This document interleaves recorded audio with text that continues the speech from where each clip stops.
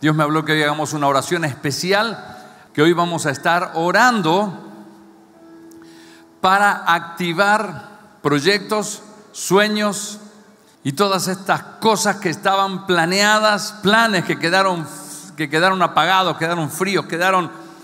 El Señor me dijo que lo que va a traer sobre sus sueños, sobre su proyecto, algunos tenían el proyecto de arrancar un negocio, otros tienen un negocio arrancado pero está medio moribundo, otros querían proyecto de arrancar ministerio, otros querían, eh, no sé, un montón de proyectos. Otros tenían el proyecto de continuar su carrera y terminarla. Hay muchos proyectos que están ahí quietos.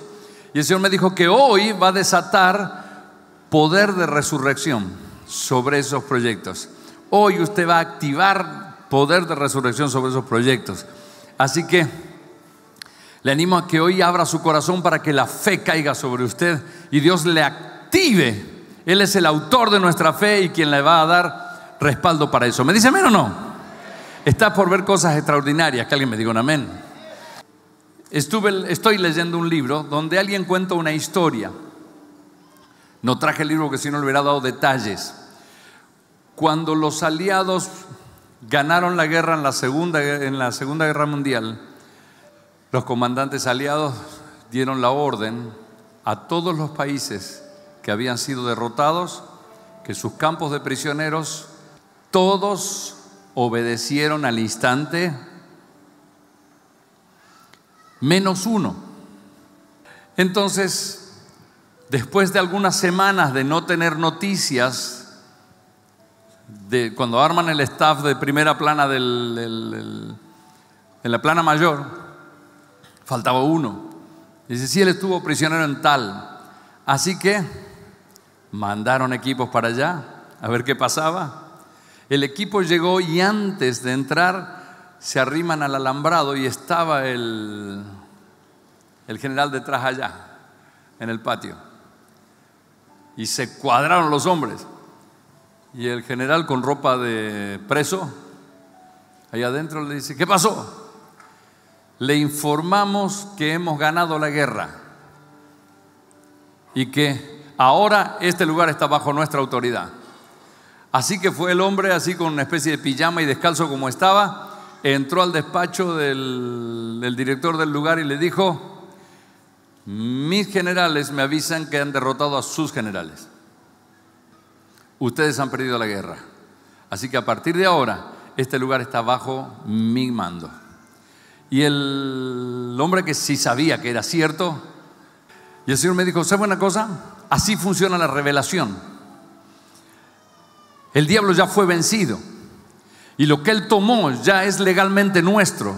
Lo que Él nos quitó y la prosperidad que debiéramos haber tenido, el diablo la sigue teniendo. Pero cuando usted recibe la revelación, le pasa lo mismo que le pasó a ese general. ¿Qué cambió en que ese hombre estaba callado la boca como preso a que después se plante y diga ahora la autoridad la tengo yo? ¿Qué cambió? ¿Por qué cambió él? ¿En qué momento cambió? Cuando él supo lo que no sabía.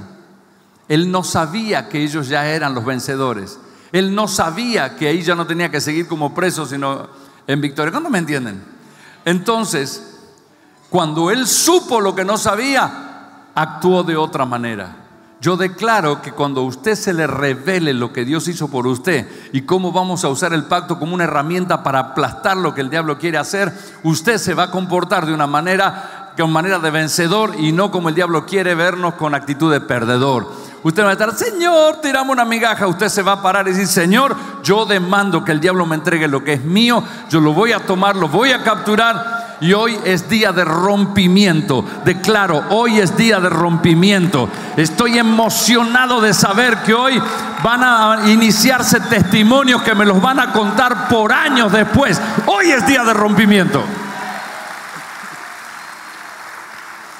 Así que abra su corazón para que Dios le hable. Arrancamos con esto. Saber que el voto o el pacto o la promesa o promesa de fe, que es la misma cosa, con distintos nombres, es un arma poderosa para quebrar toda oposición contra nuestras finanzas.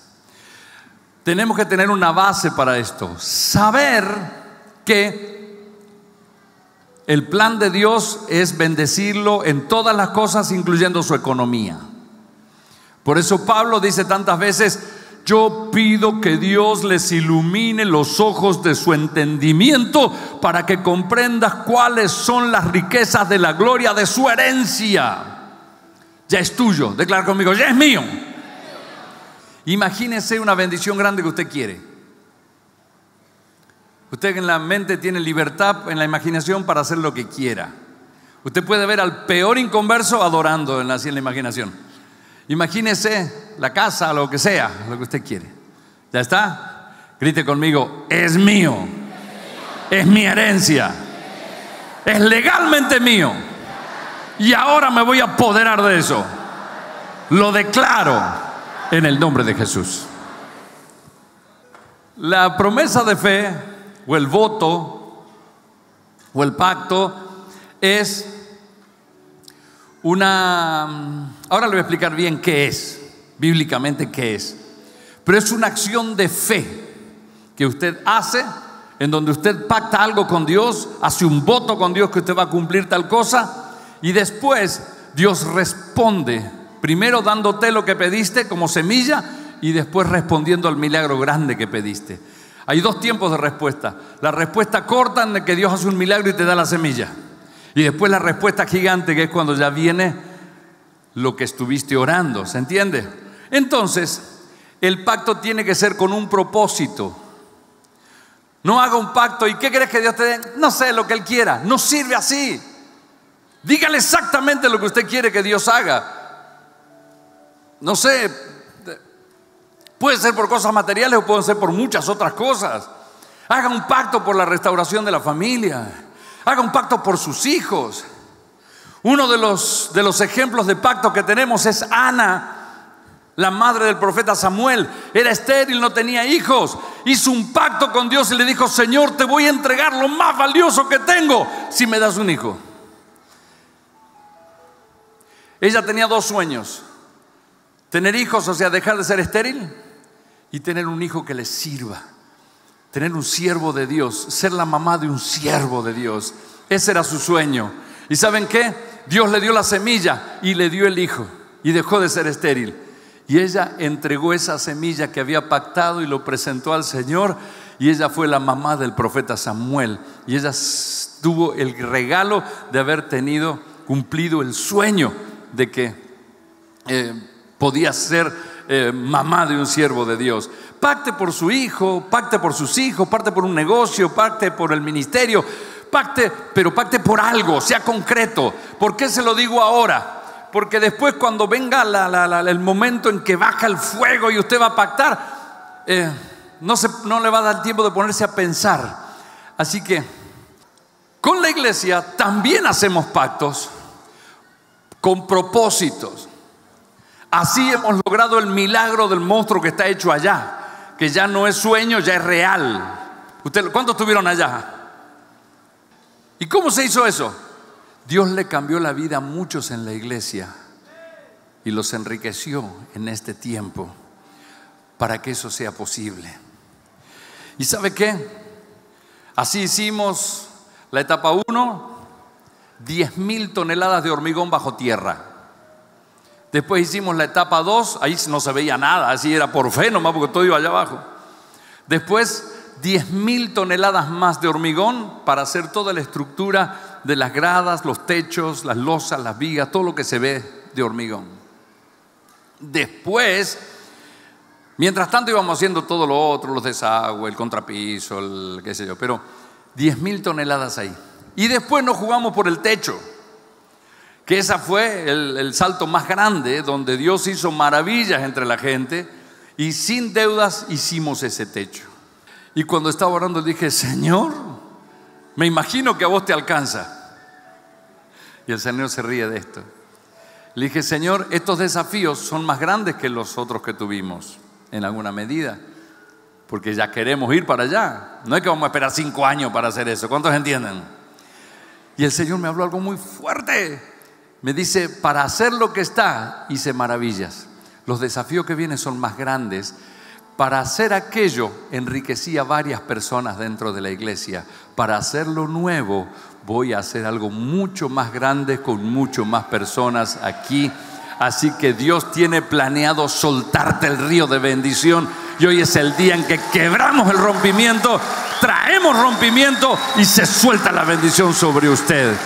Créale a Dios porque Dios va a hacer cosas fuertes. Aleluya. Yo le voy a enseñar ahora lo del pacto. ¿Para qué?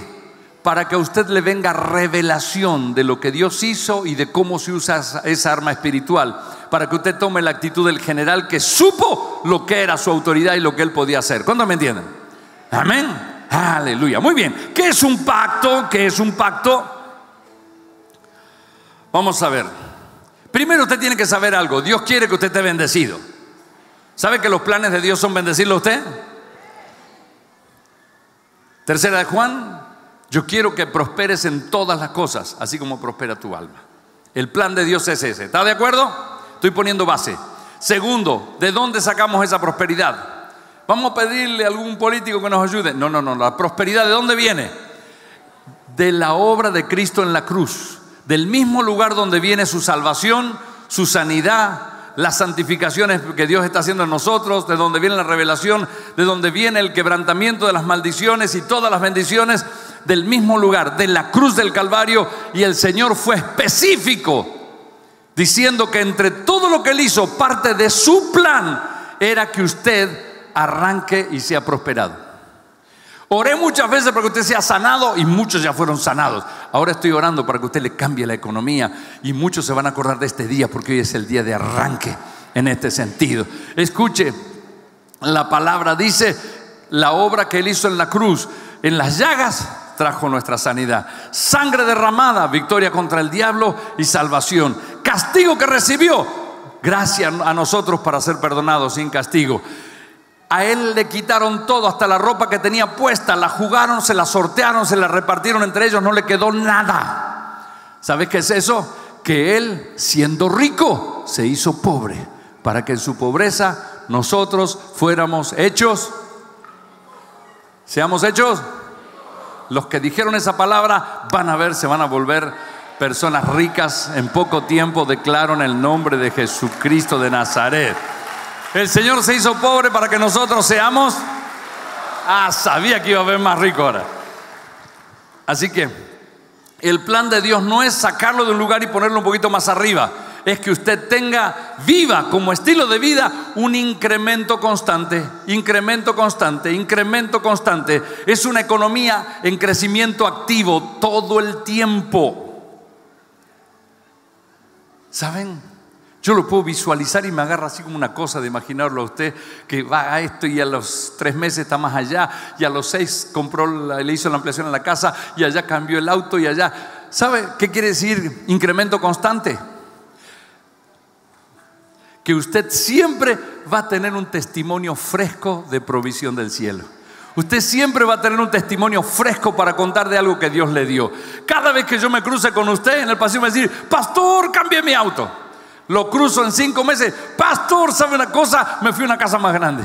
Pastor, mi matrimonio está bendecido. Pastor, mi negocio explotó de bendiciones.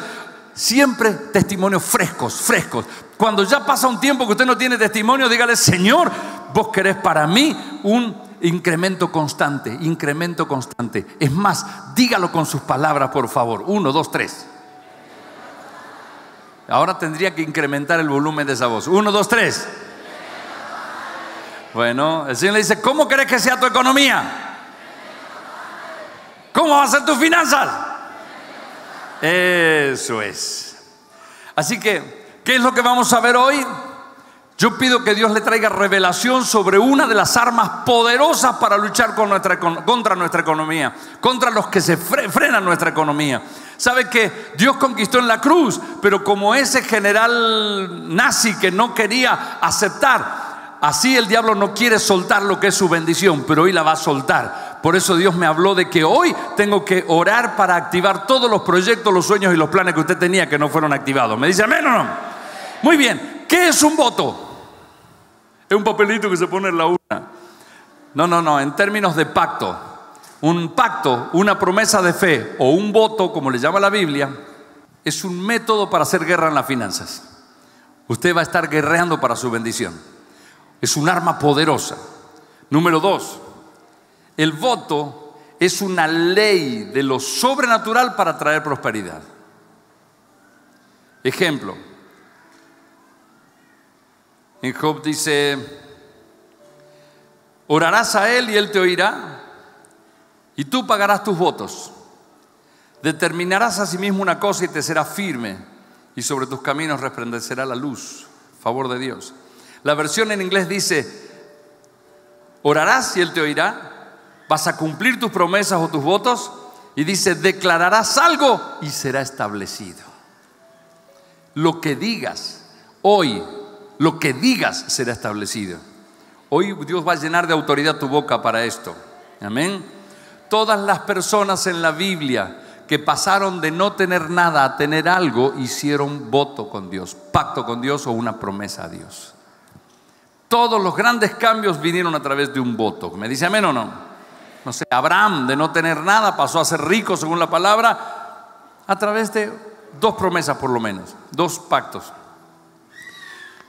Jacob igual. Isaac sembraba en la sequía y él se enriquecía. Él era un hombre que hacía pactos con Dios. Ana, la mamá de Samuel, pasó de ser una mujer sola, estéril, a ser la mamá del profeta Samuel. En la Biblia los que lograron grandes cosas lo hicieron por medio de un pacto. Es muy usada la palabra pacto en la Biblia o la palabra voto. ¿Qué más es un voto? Es un sacrificio en fe para ser cumplido o pagado cuando Dios provea. ¿Cómo es eso? es un sacrificio en fe. Entonces, Señor, yo te quiero ofrecer un sacrificio, una ofrenda sacrificial por un milagro grande que quiero. Bueno, Dios dice, amén, lo recibo, pero no tengo. Entonces Dios confía y te dice, decime lo que me estás dando y lo empiezo a operar como si me lo hubieras dado. Entonces es un pacto a futuro. Y es como que Dios me dice, los créditos en la tierra son mortales, pero yo te voy a dar un buen crédito en el cielo. Yo te creo. ¿Se entiende o no? Entonces usted dice, hace un pacto y Dios dice, ese me dio 10 mil pesos. Y los ángeles dicen, no, si no dio nada. Sí, ya me dio, me lo dio en su corazón. Entonces Dios va a hacer dos milagros ahí. Milagro uno, Él da semilla al que siembra. Y le va a proveer la plata que usted dijo que le va a dar. Cuando usted cumple el pacto, Dios dice, acaba de sembrar, ahora suéltenle todo el milagro que está preparado para ellos. ¿Entiende cómo es el procedimiento de eso? Pero eso va en el, punto siguiente. Pero sepa que es un sacrificio de fe para ser cubierto cuando Dios provea. Cuarto, un pacto es un compromiso. Quinto, es un sacrificio personal de gratitud a Dios por fe. ¿Qué sería eso? El pacto es una ofrenda de agradecimiento por adelantado de lo que Dios está por traernos a nosotros. Por eso es un acto de fe. Señor, te pido por mi casa. Quiero una casa nueva. O te pido por la conversión de mis hijos y para que mis hijos te sirvan. Señor, y te entrego un pacto, Señor, en gratitud por esa casa. Te pido que me des tanto porque yo te voy a hacer ese pacto en gratitud. Pero si todavía no recibiste, pero yo sé en quién he creído, yo sé en quién he confiado. ¿Cuántos entienden? Entonces le estoy entregando a Dios un pacto en gratitud. Señor, te pedí por la, conversión de mis hijos. Dios mío, este pacto es diciéndote gracias por la salvación y porque mis hijos te sirven. Y el diablo te dice, yo los tengo. Perdiste, diablo. Yo ya le estoy dando gracias a Dios por lo que Él hizo. Hice un pacto y Dios es un cumplidor de pactos y Él me va a responder. ¿Cuántos entienden? Entonces, es una ofrenda en fe de gratitud a Dios. Eso le estaba por dar un aplauso y no sé qué le pasó. Hay algunos que estaban por darle. Pero jueguese. Cuando usted pacta ocurren algunas cosas. ¿Qué efecto produce el pacto? Uno, hace el pacto hace que Dios traiga el futuro al tiempo de hoy para bendecirte. El diablo es especialista en demorar tu bendición. Va pateando la pelota allá adelante, ¿verdad? Y vos vas atrás y vas atrás. ¿Saben qué?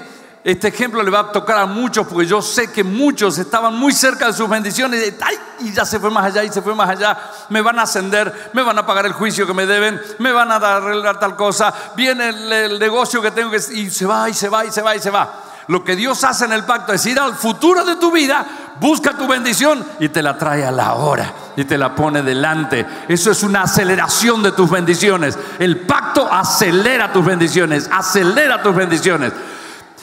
No solo opera en el futuro, también en el pasado. Señor, yo quiero recuperar lo que me robaron. Señor, la, la, herencia que mi padre tenía que dejarme y que al final la perdió en el vicio, el diablo se la robó el Señor, cuando haces un pacto, va al pasado, toma tu herencia y te la trae al ahora. Así que Dios va a traer del futuro y del pasado las cosas que eran tuyas o las que van a ser tuyas y te las entrega en este tiempo. Viene una aceleración de la bendición en esa dirección. Aleluya.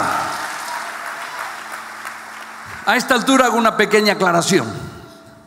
Estoy hablando de los efectos que produce el pacto, pero tenemos que saber algo.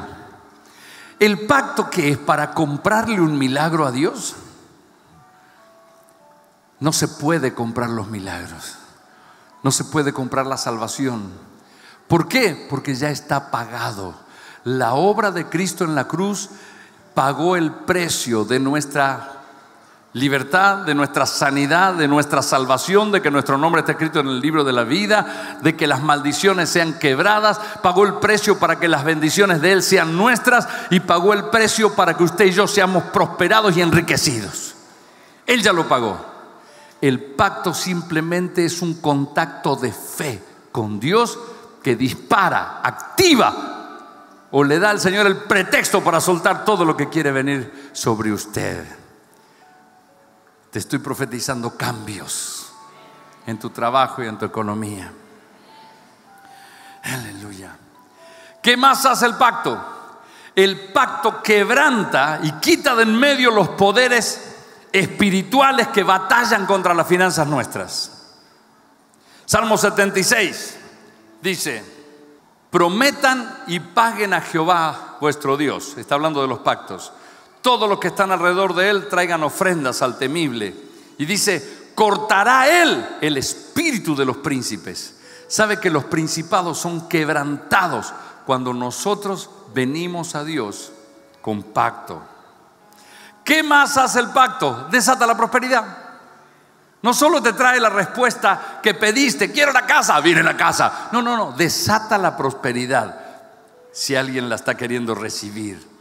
El pacto es un medio para prosperar. Isaías 48 dice, así ha dicho Jehová Redentor tuyo, el Santo de Israel, yo soy Jehová Dios tuyo, que te enseña provechosamente y que te encamina por el camino que debes seguir. La versión King James en inglés se traduce así.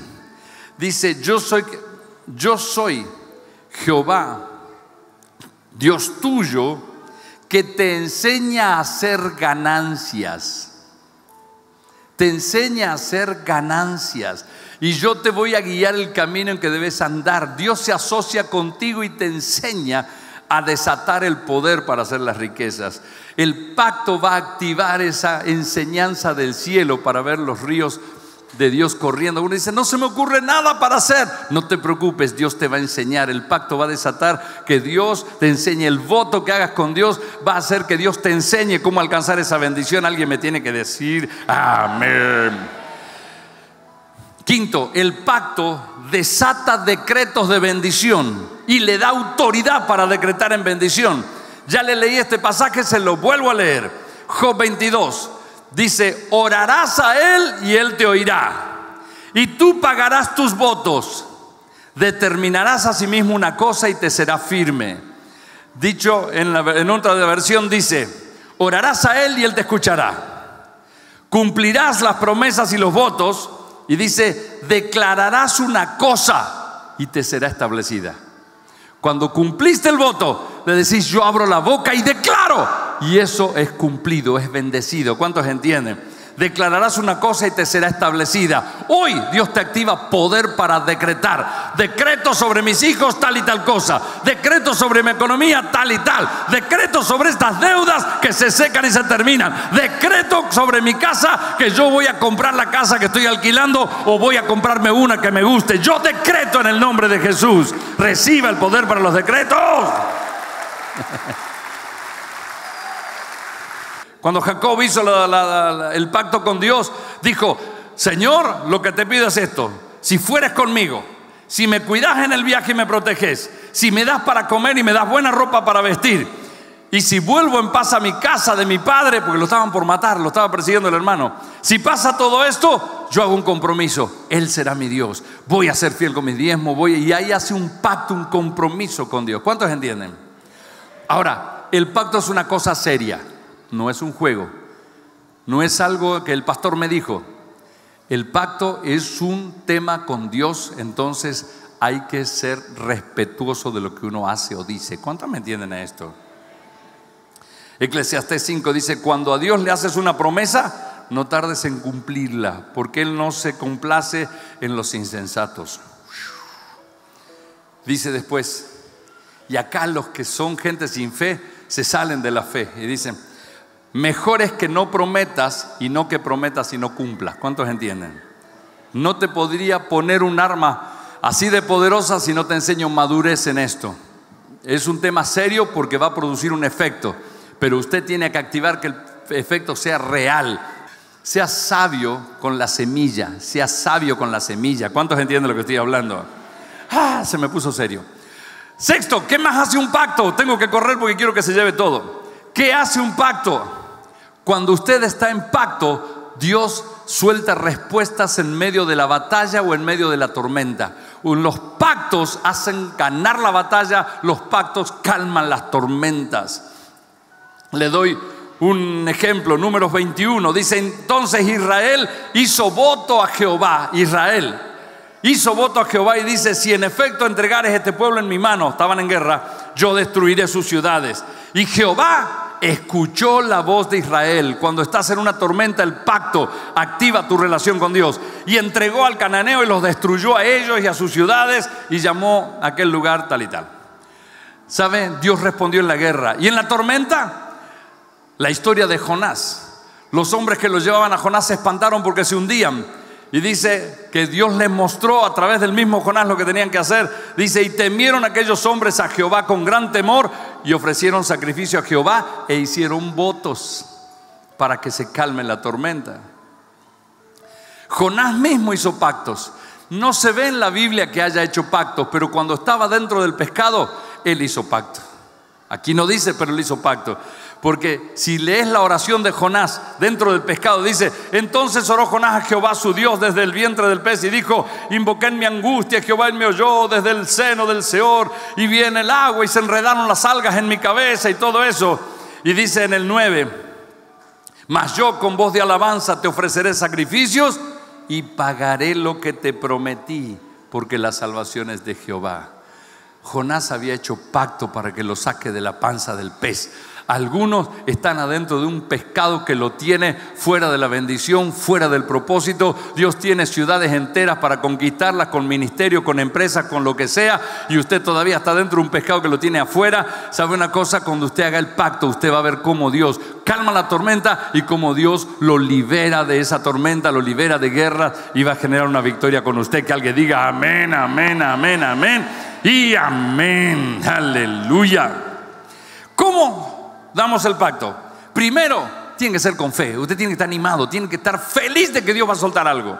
La Biblia dice, ¿cómo se dan las cosas al Señor? Cada uno de como propuso en su corazón, no con tristeza ni por necesidad, o sea, por presión, porque Dios ama al dador alegre y poderoso es Dios para hacer que abunde. Diga conmigo, abundancia.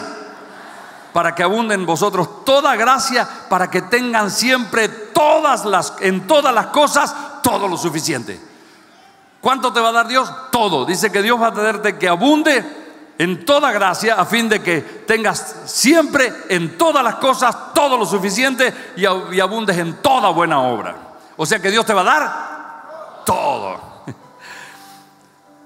¿Cómo va a dar también? Con propósito y con expectativa. Cuando usted haga el pacto, espere recibir, créale a Dios, genera una expectativa de ver el milagro. ¿Me dice amén o no? ¿Qué, va a pedir? Pida rompimiento financiero, pida el despegue del negocio, pida liberación de deudas, pida liberación de maldiciones de fracaso, pida por sus hijos como hizo Ana. Y por último, ¿qué más tiene que esperar cuando haga un pacto? Espere un acercamiento de Dios a usted. ¿Sabe una cosa? El pacto es sacrificio. Todo lo que a usted le cuesta tiempo o esfuerzo es sacrificio. Y Dios se mueve donde hay sacrificio. Cuando hace pacto, hay sacrificio y el sacrificio atrae a Dios. Usted va a mejorar su comunión y su relación con Dios cuando está en pacto con Él. Así que le animo a que tenga esa, esa preparación y eso en su corazón. ¿Cuántos entienden? Así que voy a soltar sobre aquellos que quieran. El Espíritu Santo me mostró en este momento que algunos anotaron cosas pero que en este mismo momento Dios le va a dar directivas de que pida otras cosas que no pensabas pedir. Y Dios te dice, también pedí esto y pedí esto otro. Y anótelo y crea que lo va a recibir. Y haga un pacto en fe diciendo, Señor, estoy tan agradecido porque sé que ya está hecho. Hecho está, hecho está, hecho está. Padre, en el nombre de Jesucristo ahora, yo rompo toda cadena en la economía esto que se está formando aquí y en la silla con los que tienen sobres de pactos en las manos es un altar. Esto es un altar. Esto es un altar de rompimiento. Esto es un altar de poder contra el infierno. Esto es un altar que abre las ventanas de los cielos sobre nosotros. Este es un altar donde el fuego de Dios nos va a enseñar a hacer las riquezas. En el nombre de Jesús de Nazaret, yo ahora reprendo y maldigo a los demonios de deudas. Ahora los echo fuera. Declaro que se seca, se termina, se va. En el nombre de Jesucristo, quebranto toda atadura y toda maldición de las tinieblas relacionadas con, con negocios. Todo demonio de escasez todo, demonio de pobreza, todo demonio de las tinieblas, de frustración, de fracaso comercial, es quebrado ahora, quebrado ahora, quebrado ahora, quebrado ahora, en el nombre de Jesús, en el nombre de Jesús, en el nombre de Jesús. Ahí está. Señor, pongo delante de tu presencia esas peticiones.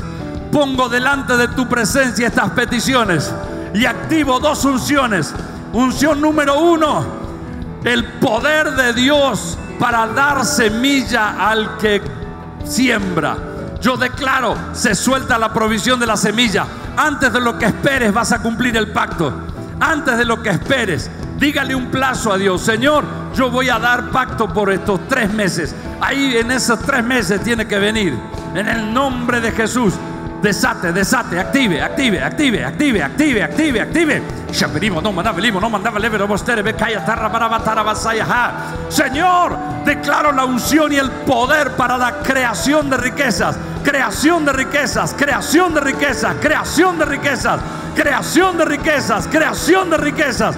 En el nombre de Jesús de Nazaret, Señor, ahora mismo declaro que este pacto quebranta y quita del medio todas las los principados espirituales que querían demorar la bendición. Declaro que Dios trae del futuro nuestras bendiciones y del pasado nuestras bendiciones en el nombre de Jesús. Ahí está, ahí está, ahí está, ahí está. Declaro abundancia, ríos de abundancia. Señor, la unción para incrementos constantes, la unción para incremento constante, la unción para incremento constante Ahí está, ahí está. No para, no para, no para, no para, no para, no para, no para, no para, no para, no para, no para. En el nombre de Jesús de Nazaret. Y ahora yo declaro. Ahora cita la oración. Si usted tiene sueños, planes y cosas por el estilo. Ahora, ahora, ahora, ahora, ahora, ahora. Yo declaro restauración, reavivamiento de planes, proyectos, sueños, que estaban adormecidos. En el nombre de Jesucristo, negocios que estaban en el corazón, pero no pasaba nada todavía. Señor, oportunidades que no se abrían, puertas que estaban cerradas de trabajo, de ascenso, de cambios. En el nombre de Jesucristo, oportunidades. Hay personas que necesitaban herramientas o equipos o, ciertos elementos para un negocio. Yo declaro que se suelta ahora, se suelta, se suelta, se suelta, se suelta, se suelta. Dios está entregando herramientas a alguien que tiene capacidad de una profesión. No sé si es un herrero o qué, pero Dios le va a entregar todo porque sos un artista y Dios te dice que te da poder.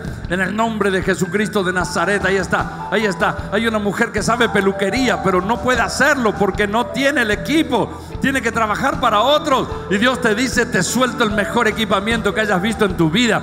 Dios te está dando gracia. Dios está levantando en este momento. O una debe dar a Hay alguien que tiene eh, sueños en gastronomía. Y Dios dice, te doy equipo industrial y las puertas abiertas y el conocimiento de marketing para que puedas poner en marcha ese sueño que estabas teniendo.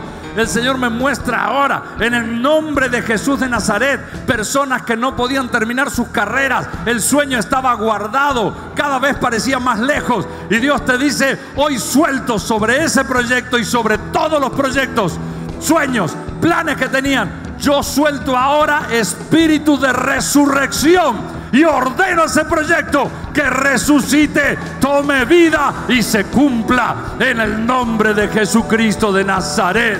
Señor, queda sobre cada uno la unción del incremento constante, incremento constante, incremento constante incremento constante, siempre creciendo, siempre con testimonios nuevos, siempre con la fe renovada. Señor, y vas a darle luz a nuestro camino, como dice tu palabra. Señor, este es mi sacrificio, muéstrale, este es mi sacrificio. Esto es olor grato delante de tu presencia.